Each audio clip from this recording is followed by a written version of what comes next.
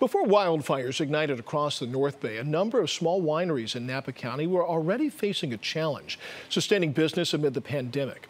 Our Michelle Griego spoke with two wine experts who say they're trying to look at the glass half full.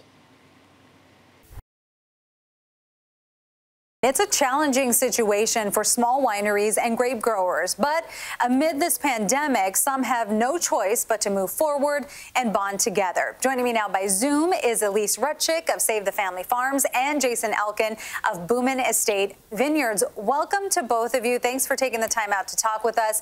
Elise, I want to start by asking you, what is Save the Family Farms? Yes, hi, Michelle.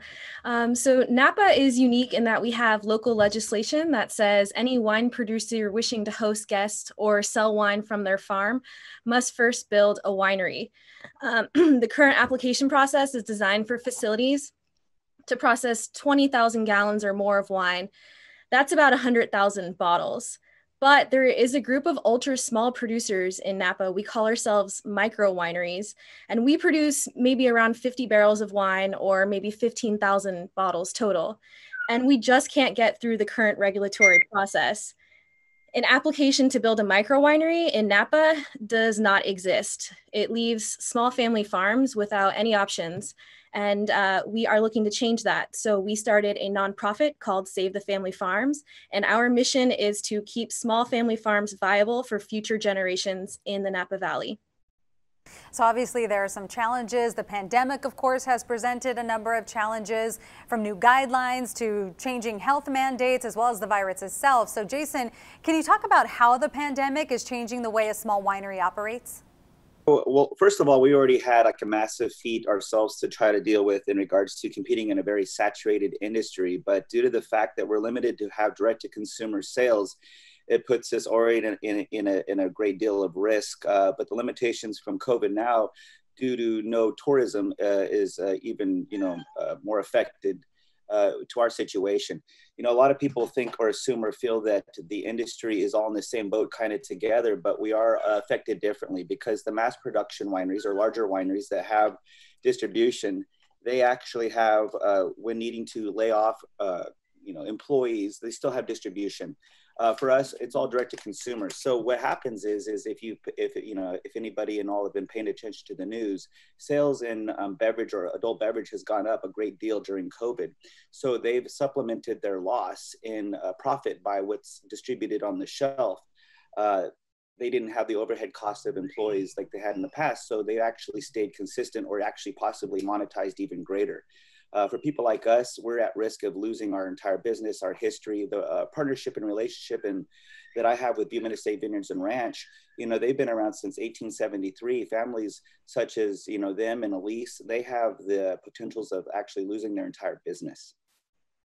I mean, as you said, larger businesses and wineries, they have a better ability to stay afloat during this time. How are micro producers, how are they sustaining that business, especially in the present, presence of these larger wineries? So for myself, it's been complicated because we're limited to have direct to consumer sales. We're not allowed to host guests or customers at our location. There's no events. There's uh, you know, nothing like that. We don't have great distribution outlets. You have to be creative. Like Elise was suggesting, you know, she does a lot of, uh, you know, virtual experiences such as that. Uh, you have to rely on, you know, trying to grow a club, but your case production's small. So even if you were to sell a majority of your wine, it's still, you know, the profits aren't necessarily that great uh, it's very limiting. It's really hard. Yeah, we've launched virtual tastings, uh, trying to bring our vineyard experience to people all over the country. We've been seeing some success with that. Uh, we also have a much heavier focus on email and social media, um, but we're figuring it out as we go. Like a lot of other small producers, there's certainly no substitute for the 4 million visitors that would come to the Napa Valley before COVID. So um, we're, we're just sort of living day by day. Um, and we're fighting to get our micro winery ordinance passed now. It's more important than ever because when the Napa Valley opens back up, we, the small family farmers, want to be able to participate in the economic recovery. Elise, talk more about the importance of that call to action to create the ordinance. Well, in the last several months, small producers like us, we've relied very heavily on restaurants, or big wine events to get out in front of the consumer. And since March, that channel has disappeared. So, what you have happening is the small family farmer is being affected more than maybe the large producer. The large producer has access to the grocery store channel and many wine shops that are still open. But us small guys, um, we we're sort of without a way to access consumers through COVID. It's obviously a very uncertain time for so many people. What do you think lies ahead for small wineries in Napa County? You know, some of the costs uh, and our positioning with the production sizes we produce, it's just not realistic. You know, um, it's um, you know there's there's a very big difference and a gap in between and that's what we're trying to kind of find a, a, consistency in or a realistic opportunity too so the current application process for a winery in napa valley costs about $5 million to start with and can go up to I mean, I've heard some winery owners say they've invested $40 million to build their production facility. So it's just not accessible to the small family farmer we are farmers first and foremost, and we don't have large margins. A lot of us don't come to Napa Valley with money. We've been in the Napa Valley for 40, 50, 60 years, and we're farmers. So we're working to create this micro winery ordinance so that we can preserve the small family farms in Napa Valley. Without some changes to the local legislation, the small family farmer will go extinct. What do you feel, and, and I guess I'll, I'll ask it again, and maybe Elise, you can you can talk about this more. Is so the ordinance gets passed. Let's say, you know, what what is going to happen with these micro wineries if it gets passed? If it doesn't get passed, this is pretty serious if the micro winery ordinance does not get passed, the future for small family farms is very unknown. The wine tourism industry has evolved significantly over the last 20 years. And now the way you sell wine is direct to the consumer from the vineyard site. Small family farmers without production facilities on site are foreclosed from the opportunity to host guests on site and sell wine. So if we don't have a path to compliance, we have no way to sell our wine.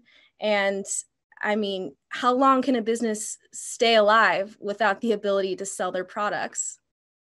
Right. So then, if this ordinance is passed, then this will really help out those uh, micro wineries to basically stay alive during this pandemic and Michelle, it's also the ability to maintain and keep a history. A lot of these uh, families and bloodlines have been here, like the one I'm with and the partnership I have, it has been here since the early 1800s, and they've sold grapes to the most prestigious, renowned, recognized wineries that everybody's heard of internationally. So a lot of the backstories and histories of the famous, you know, Napa Valley have began with small family-operated ranchers and farms and vintners such as ourselves. Our backstories, our history. There's already been a couple hundred wineries and small lot producers and brands that have had to close and lose their histories of Napa Valley because of situations that we're all facing. If we can, uh, you know, pass these laws or get some kind of adoption rights to allow for us to just play in the game and be able to sell direct to consumer, we're not going to have a massive, uh, you know, huge outcome with our our backstories, but we'll be able to maintain in the history, we'll be able to remain in Napa Valley and grow. We'll be able to cover our costs and have a little bit of life. We're not going to be huge, you know, billionaires because of the outcome, but we won't go away. We won't be obsolete. The history will not be erased off the face of Napa Valley. Robert Mondavi once said something to the effect of, we are in competition with each other. We are not in competition against each other. So to me, that means that the wine industry as a whole, we are united by what we do. We are united by our sense of place, and a rising tide lifts all boats. So I can't really identify any negatives to empowering Napa's smallest family farms and enabling Napa to be a place where small wineries can coexist next to these iconic, huge wineries that have put Napa on the map. I'll send this question to both of you. Uh, what else do people need to know out there that they may not know and that is important to get across to them?